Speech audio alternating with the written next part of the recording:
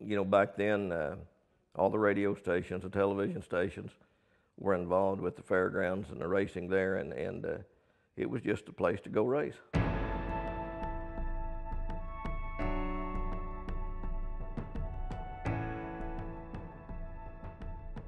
That thing on Friday nights, man, it was packed.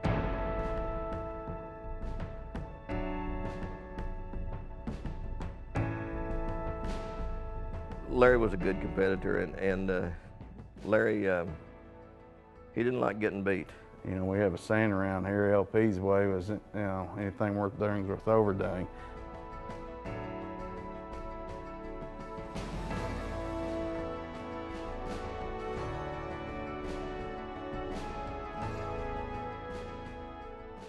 When you lined up with that, that bunch, uh, you better be ready to race, and or you were you were not going to do very well because you had a lot of competition. When you're in a race car, uh, I don't care what kind of problems you've got, you forget that racing. It's an adrenaline rush. Only a couple things you can compare to it, I think. I mean, I, I thought I knew what racing was about, and I stepped on that throttle pedal, and it scared me so bad. You know, it's two or three wide and fast and momentum, and everybody's close, and it ought to be good to watch.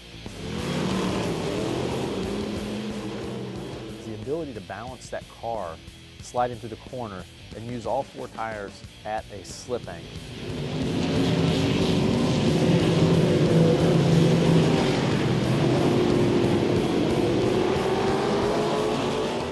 Like pavement, they don't like dirt because it's dirty, you know. You go pavement racing, it's boring to a dirt racer, you know. Green means go, not stop. You're right, you're right. Right.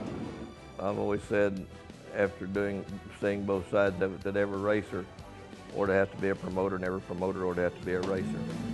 Yeah, if we want everybody up, we want this, we can disqualify for half the field, guys. There's lots of second generation and third generation racers, you know. This man built me this car. My boy built this car for me to drive. And I brought her home. We brought her home. The family deal is what makes it good. The root of all of this is it's it's really fun to drive a car down the corner and turn it sideways, and I mean that's that's a blast. People want to win, and, and that's what drives them to do it. There's my boy right here. Thank you very much. Has it got to end?